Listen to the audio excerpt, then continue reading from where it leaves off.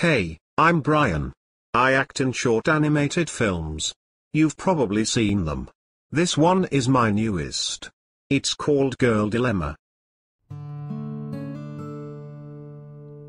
Steve, since you're my best friend I really thought you could help me out. I really am falling for Catherine more and more every day.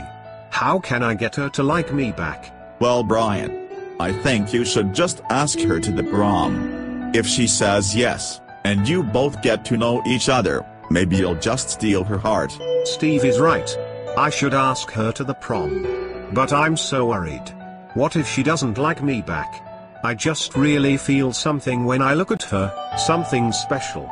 Come on Brian, man up. I promise to myself right now, I will ask her to the prom tomorrow, and there's nothing stopping me, Catherine. I know we don't ever talk, and you don't know me well, but I've been wanting to talk to you for a while. I've been starting to feel things that I never knew I could feel. I feel a weird feeling that I've never felt in my entire life when I look into your eyes, and I feel that sensation growing.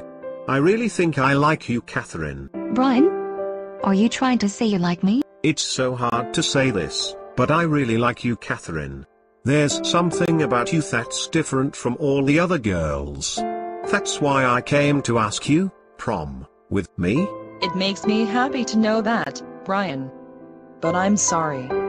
I'm already going with Justin. I'm so very sorry, but I just don't feel the same way about you. Catherine no.